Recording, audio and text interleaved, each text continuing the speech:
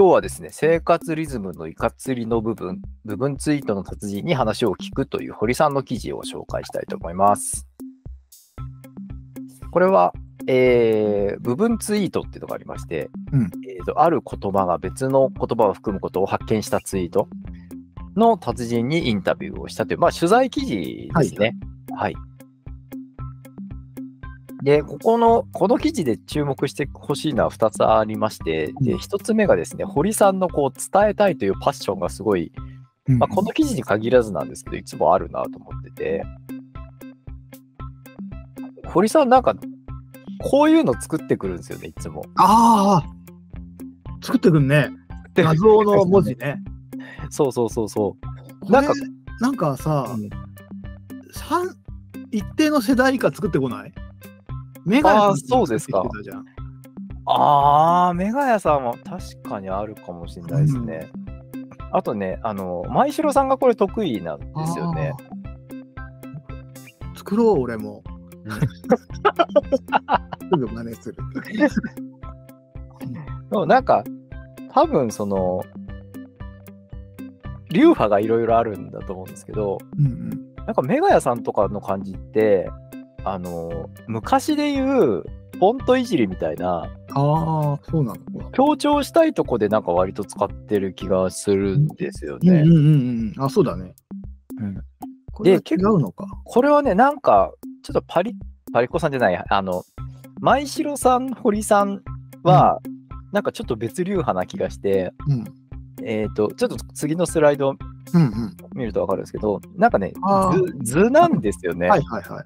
でこれ単、単にこう説明することがないんで、文字で書いてあるんですけど、うんうん割と図で表現したいはいははい。派閥のそう人たちですね。で、そうそうそう。で、結構なんかこの辺の、なんか分かりやすくして、みんなに本当分かってほしいっていう気持ちは、こうすごい感じるんですよ、堀さんのはいこの図って。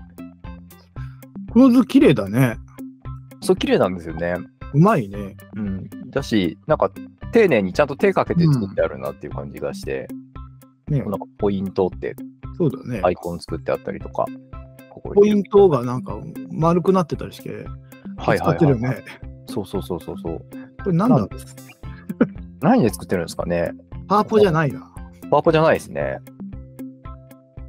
キャンバかな。ああ、どうですかね？パワポか。なんだろう。うーん。ツールの話しちゃった。はいはい。あでもこういうなんかちゃんと手をかけて説明するぞっていう、なんか情熱が。あるなと思うんですよね。で、あと、まあ、こういうちょっとした写真もちゃんと加はいはい。工して説明してたりとかして、こういうの大事。そうそうなんだよねなんかね、丁寧なんですよね、仕事が写。真ってちっちゃいもんね。ここ、ここだよっていう時にね。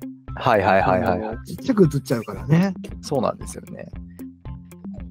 だから、結構なんかこう、記事って、うん。なんか、サービス精神だなと思ってて、いや、そうだよね。いや、思う思う。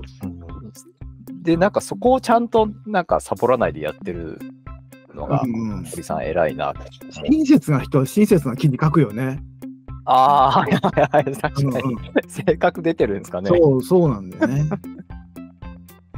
そうそうっていうのが、えっ、と、まず一つと、あこれこれとかもそうです。これちょっとサービス精神とはまた違う話なんですけど、話聞いて、ちょっと盛り込みきれなかったやつを、最後に、この手短に箇条書きでドバッと入れてるんですよね。はい。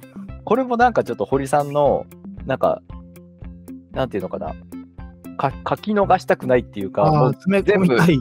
そうそう、全全部知ってほしいみたいなはい。気持ちが現れてるなと思って、すごいいいなと思うんですよね。うん。っていう話で、で、あとはですね、もう一個あって別の話で、うん。部分散歩という発明があったなと思いまして、で、これ、前半がインタビューパートで、うんうん後半、じゃあみんなで外に出て、その。部分を探しましょうっていうパートが始まるんですよね。はいで、これって、あのー別になんかこのインタビューの森川さんから提案があったとかでもないし、うんうん森川さんからが普段からそういう活動をしているみたいな話でもないんですよ。はいはい。ただ堀さんが、じゃあうんそういうのやりましょうよっていい言ってるはですねで、うんうん言ったんですよね。で、これが結果的にすごいよくって、うんうんえーとこういう、なぜそばにラー油を入れるのかにバニラが見つかったりとか、すごい面白いな、バニラ。面白いですよね。バニラかと思って、すごい面白いなと思って。あと自転車、バイクのやばいの部分とかうんうんうん。